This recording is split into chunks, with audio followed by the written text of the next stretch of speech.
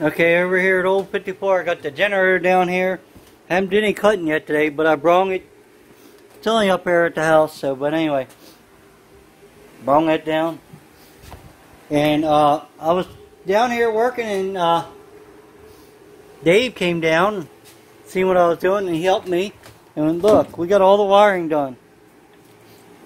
Well, not complete, but it's all the way to the front. This old wire, it's got to come out One wire at a time. So I come down here, we got to figure out where it goes in here, pull switches, and don't get insecure. If you're not very good at wiring, this is just something.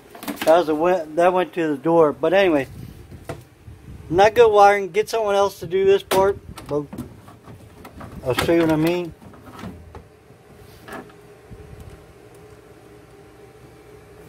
That popped off. I know you can't see in there very good. Crap. Look at that mess. But if you take your time, make sure it's off this time. Take your time, it'll come out looking like this. And you don't want to get rid of on these models, you don't want to get rid of that wire or that wire. You got to look before you start cutting people. Because that wire, see it? And the other one's out there too. It's a turn signal.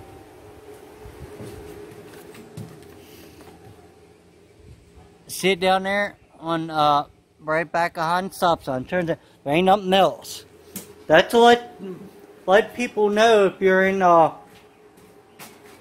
if you're pulling up and there's two lanes and it's a sharp bend, you can you're allowed to be in the left lane to turn because you got a wide turn. Had all this apart, put it back together. We'd set the wire.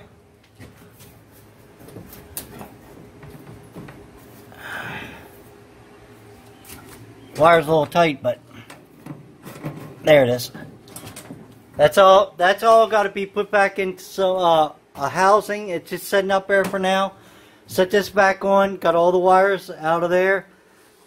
Zip. Actually, we can take these zip ties. I had them all the way the zip tie, and I had some greens up front, but and then well, what I'm gonna do. A lot of people are probably leaving all this behind the wall. I'm gonna put it in some type of probably that black stuff that see in cars. Then I'm going to put it in some type of, it's a, uh, for wiring that you can put on the outside the wall and snap it on or whatever. That's going to be, it'll come, it'll be here. All this can be hanging out in here because this is utility room. Utility room, remember? But then inside it's going to be on the outside of the wall. It'll be on the outside of the wall all the way up to here. And then it's going to go in there, so them in there. This right here, if you see, if, if I'm not talking about and you're seeing them, these are just uh, wire that one actually goes to a light outside, and there's one here. It was a running light. I'm going to take them off. Don't need them. It's only two. And then all the rest of this one right here is a window sensor. This one, uh, I still got to take off the uh, buzzer.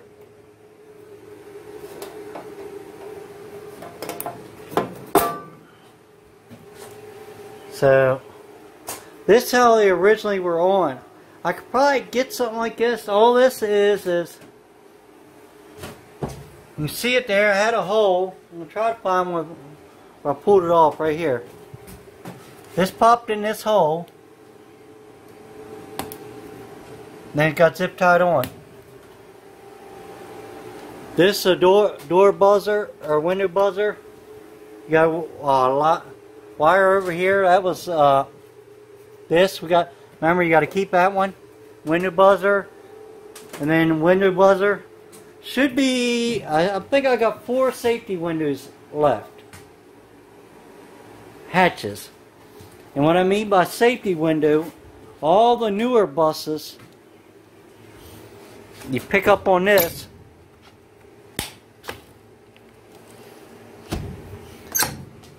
and what we're going to try to do is make them look like a night, or we're gonna, I'm going to try to make them work like a night, early 1900s uh, car.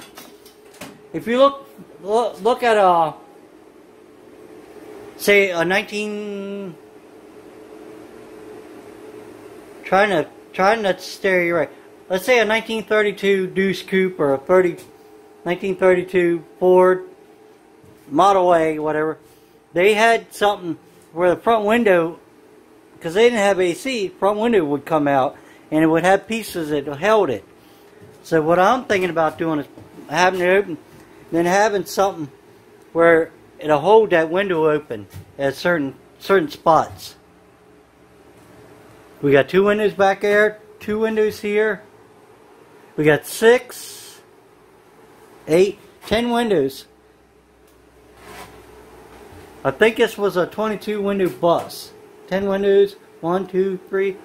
We went six here, six there, six.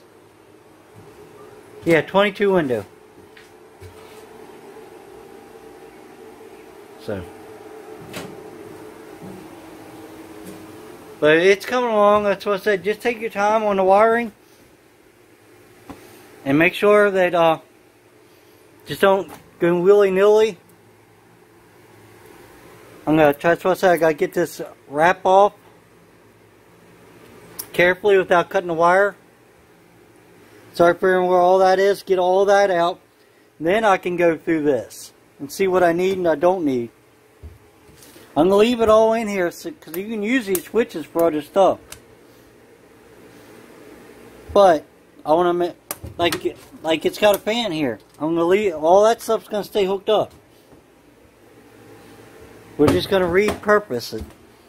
And I got to get something it's solid here. Well, mostly solid. It's starting to crack a little bit. But that's got to be screwed down or something. Because you can hear it when I walk. Well, you can really hear it there. But this has got, that's got to be patched. I knew that. So, that's what we're doing. Alright. Got a whole bunch of wires hanging here and a whole box is going. It all goes back together. I'm working on this wiring right now. Getting rid of the uh, light wiring. It's going to that panel up there. Try to keep the panel just get rid of the wiring. Some of it. Okay, got a, uh, Dave helped me and got, cut the ends off. We got all the other wire from this panel off.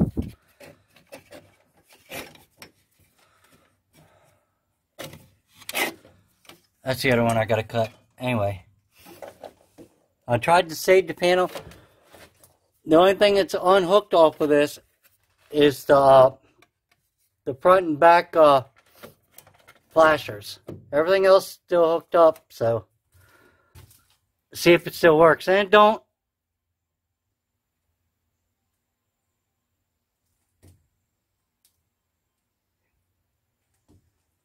Here ringing, probably, probably my phone. Anyway, uh, if not, I can delete it Pull them wires down and get rid of them.